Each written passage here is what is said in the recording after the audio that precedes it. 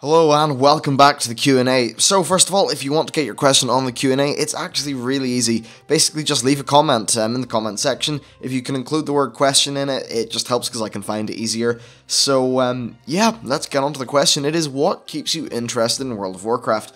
Now this is actually a little bit of a short one probably because well, as I'm sure you noticed from today's WoW Daily, I'm kind of tired and groggy, and I'd rather just sleep. Um, but I still want to get content out there, and this is a nice little way to do it. So, what keeps me interested in World of Warcraft? Well, first of all, raiding. I'm in a raiding team. We raid regularly. It's fun. I enjoy everyone's company, and we're in general quite successful. And it just it, there's a nice feeling of not really just watch my video and why I think raiding's fun. But to summarize, it's just the fact that you're progressing, you're overcoming a challenge, you're getting new gear, and the way power deltas work now in the game, the gear really does feel meaningful to your character. So I think it, yeah, there's just something about raiding that's compelling, and I like the scale of it. So yeah, it's it's fun.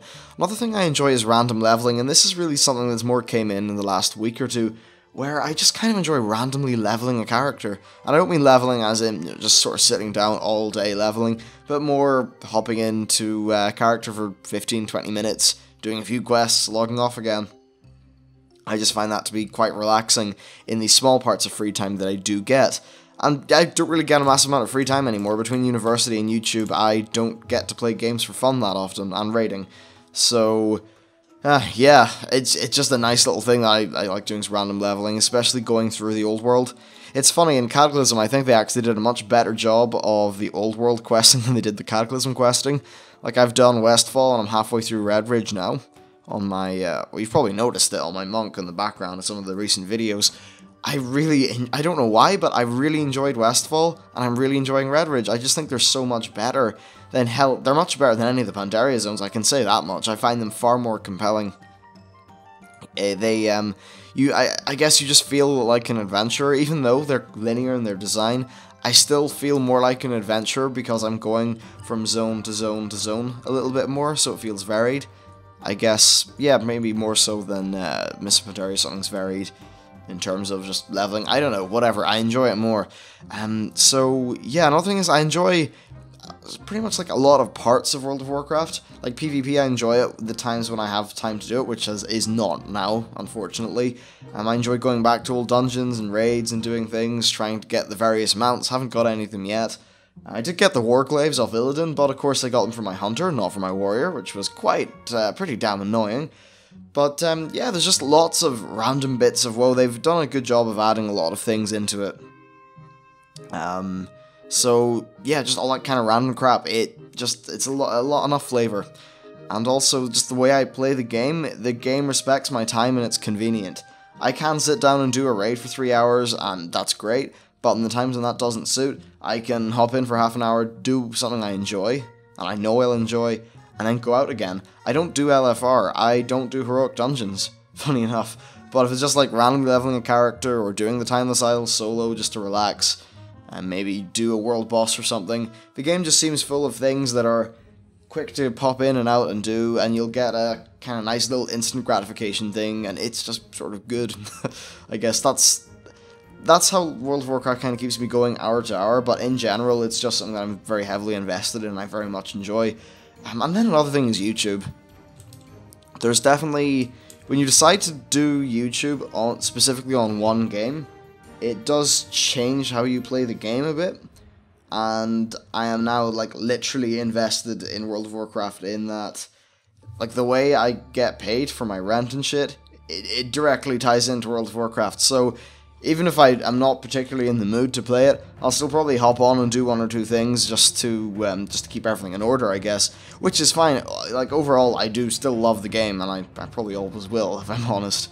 I can't see myself going to another MMO. That'd be dirty. Ugh. But um, yeah, no, World of Warcraft. I just they're the things that enjoy it. I've it's been there for a very long time and continues to be there, and it still continues to offer me just a really uh, fun experience. I'm probably not enjoying it as much as I did back in the Wrath of the Lich King days. Well, it's funny, now that I'm older, I could probably enjoy the Wrath of the Lich King days more. Because back then I had school, and school shit, as I'm sure everyone who's been through, it's like, is it high school for Americans? I know, whatever. You see people who say your childhood is the, they're the best days of your life? I uh, fuck that bullshit. I'm having a far better time in university than I ever did when I was younger because of freedom and just being able to go out and do shit. It's great. So, yeah, I know. Maybe if only Wrath of the Lich King had came out now, I'd be ultra happy. But oh well, Pandaria is still. It still suffices. So there's actually another question which ties into this one pretty well, so I'm going to tack it on at the end here. Um, it is, since you have began playing World of Warcraft until now, which of the features of the game did you love or hate the most? now this is probably not a 100% complete list, but uh, I think it gives a pretty good idea. So things I love.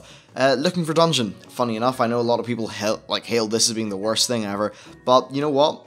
Going back into the days of Wrath before it was there, you could spend 40 minutes trying to get your dungeon group going just for it to fail in the second boss because one guy's an idiot.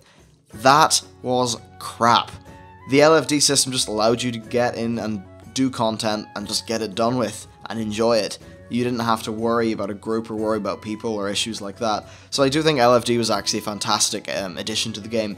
I know that it did end up sort of causing problems in, say, Cataclysm, but I'll, I'll get onto that. Still, I think it was a very good addition to the game and it respects people's time a lot more than the other older system, although the older system definitely did have its merits for what it did for a server community.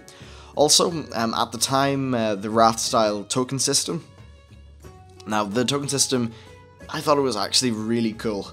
And the way you got these tokens from, from doing all the various stuff. I thought that was great, and what I liked about it was that it always gave you a baseline kind of, you would always get gear from work, even if you weren't the luckiest with drops.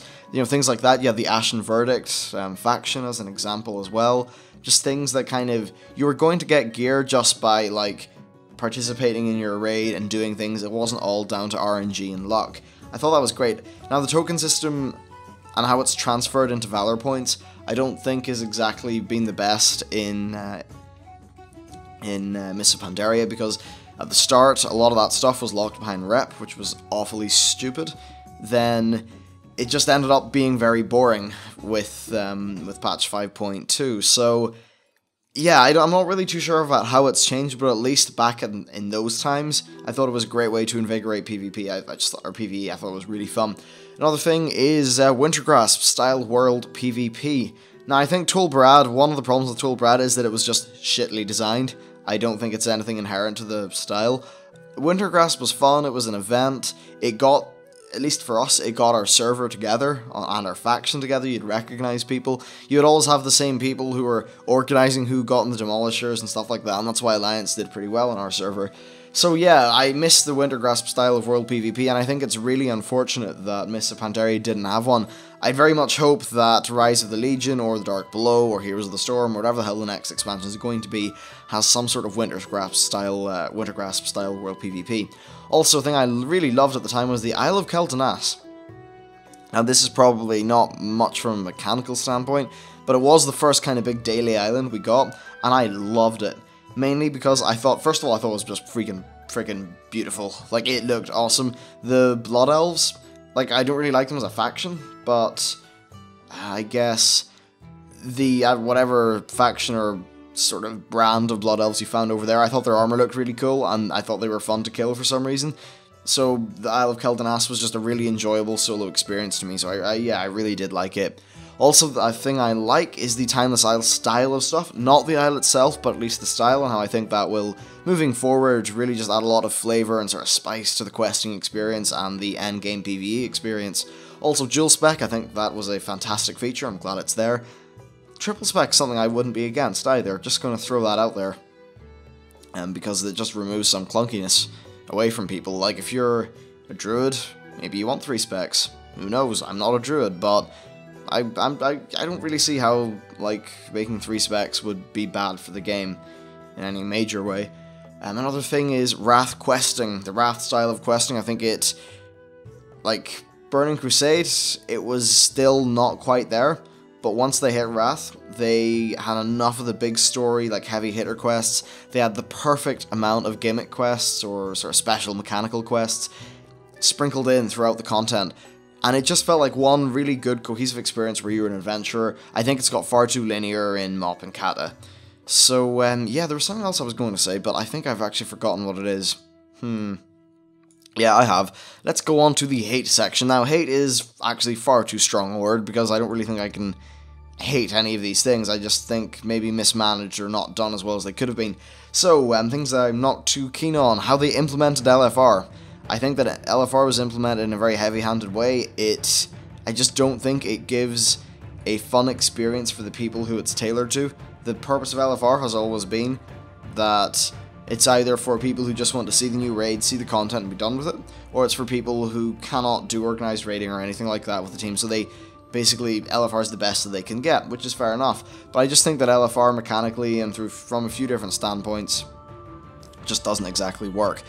They were talking a while ago about this thing where players would actually be rewarded in terms of loot or gear or whatever, something, probably not gear, just loot, for actually doing the mechanics of a fight.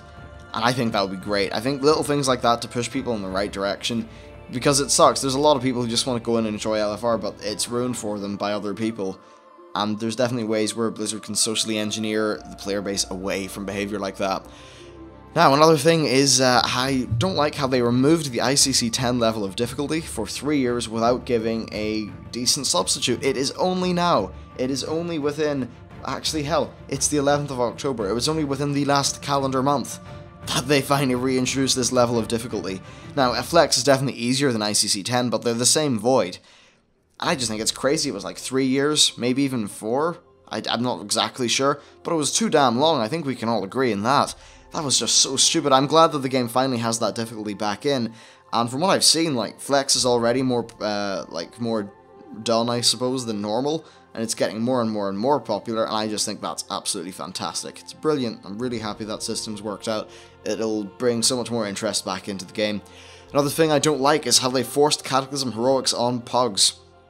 Cataclysm Heroics were fantastic in a guild group, they were fantastic in that kind of setting, but do they work in a pug where you don't have voice chat? Absolutely not. I don't like how they forced that on people. The solution was to just nerf them into the ground through flat numbers, which meant that they felt clunky and not very well designed, which meant that they weren't fun. And that really was a pity. Now, another thing that I don't like is the Cataclysm and MoP questing. I think it's too linear. Mists of Pandaria isn't as bad, but I think Pandaria had some very, very, very weak zones. I thought, like, example, Jade Forest was good for the first, like, hour maybe, and then it kind of devolved. Four Winds gave you a little bit more freedom, but the problem with Four Winds is you did have all this freedom, but what were you doing? You're going around helping farmers. What? That's not World of Warcraft. No, it's not just compared to things like Wrath questing, I just prefer it. The only actual zone in uh, Cataclysm that I enjoyed was Hyjal, and it's funny because I thought Hyjal was backed up by a really solid story, and it was communicated quite well within the game. I think that the problem is after that, things just got less and less interesting for me, but Hyjal was tolerable, because while it was linear, it did have a good enough story. Still, give me Dragonblight, or Howling Fjord, or Borean Tundra, or Grizzly Hills over any of that crap. Any of it. But anyway, that's it for me. I'm probably going to go and collapse in a heap and sleep. And with that, I'll see you next time.